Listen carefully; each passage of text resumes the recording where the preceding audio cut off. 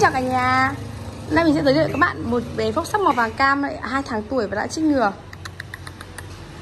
Của mẹ em đã được chích ngừa ít nhất từ 1 đến 2 mũi vaccine ạ. Còn đây là bạn, một bạn phốc sắc mặt gấu rất là xinh xắn. Đinh đinh đinh đinh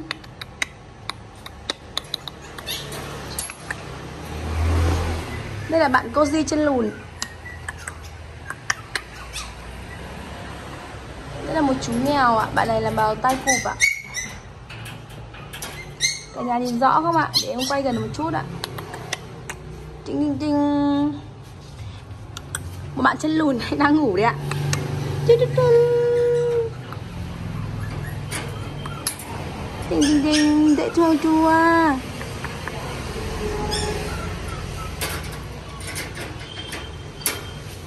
hai bạn bút đồ này thì là chữa dòng uh, chữa tini được hiện tại được 7 tháng tuổi và đã đang cạo trong quá trình mọc lông ạ.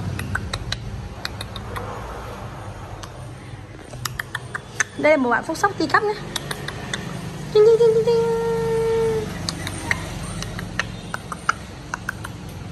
anh này siêu nhỏ luôn ạ. Đây ạ.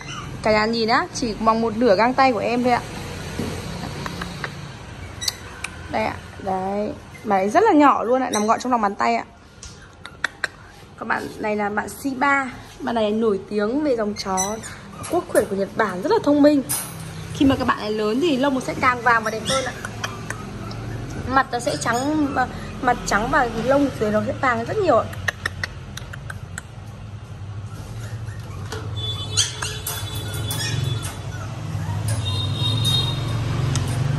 Đây, đây là một bạn phúc sóc khác ạ. Tinh tinh tinh tinh Bạn này là mèo anh lông ngắn đây ạ. Bạn này là màu golden tabby ạ. Tinh tinh tinh Cuối cùng là sẽ là một bạn Samoy nha cả nhà.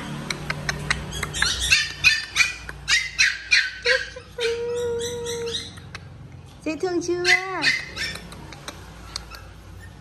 Hiện tại tại Pet House Thú Cảnh Việt đang có rất nhiều giống chó Các bé đều được là phòng thuần chủng và đã được tiêm ngừa uh, tẩy run đầy đủ. Cả nhà có thể ghé thăm tại số 19 Nguyễn Viết Xuân, phường Khương Mai, Thanh Xuân, Hà Nội cả nhà nhé